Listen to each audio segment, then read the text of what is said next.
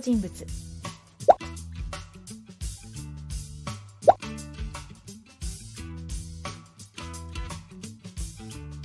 今回のお客様。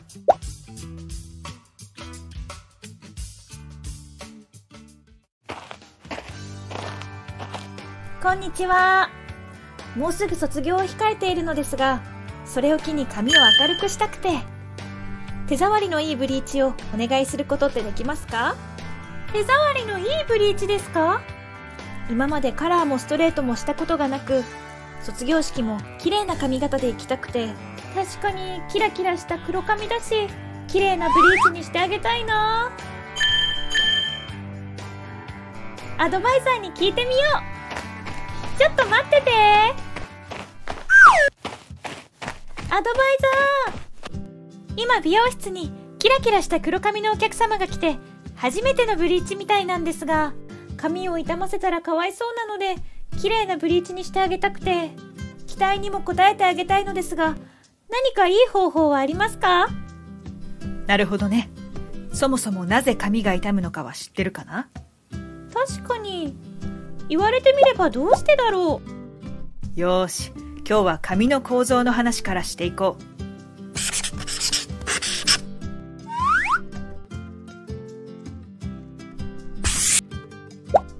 毛髪は3層で構成されているよ。海苔巻きの構造に似ているね。キューティクルが海苔でコルテックスがご飯。メデュラが具みたいだね。髪を傷ませないためには水色部分の CMC の働きが重要になるんだ。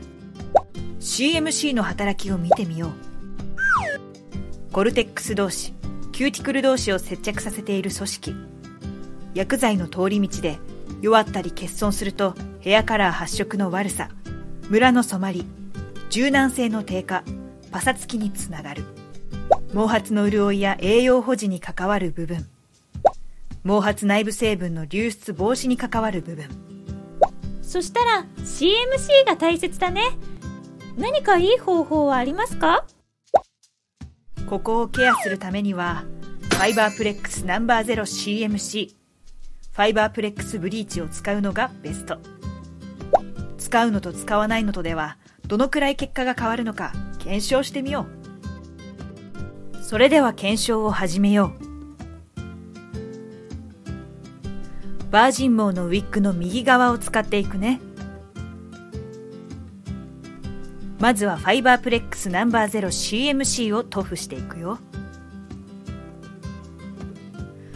ムラにならないように丁寧に塗布してね。ブロッキングはバックが4つ。サイドが3つだよ。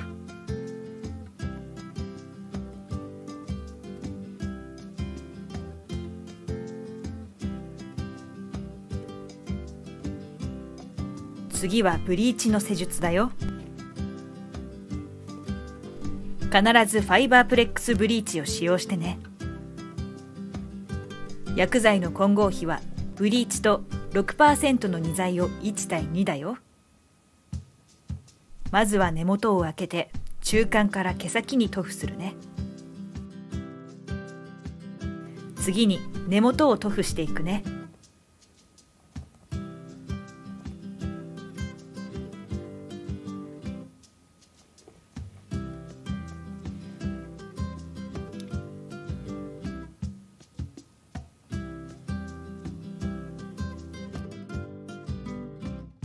ムラがないかしっかりチェックしていくよ。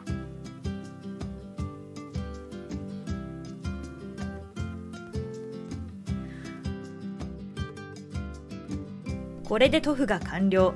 自然放置40分間置くね。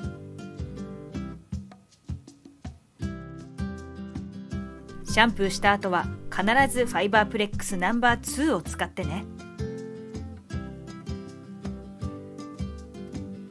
これで全ての施術が終了したよ。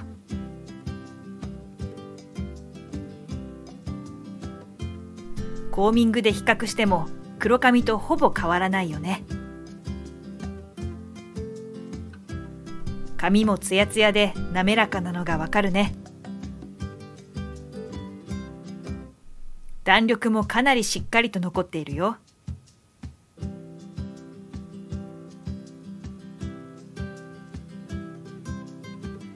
これで検証は以上だよ。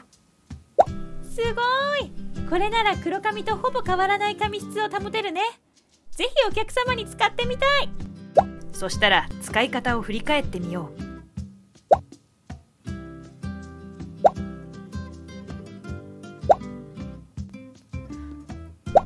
ファイバープレックスナンバーゼロ CMC を使うことでダメージ削減につながるよ髪の内部がどうなっているのか見てみよう。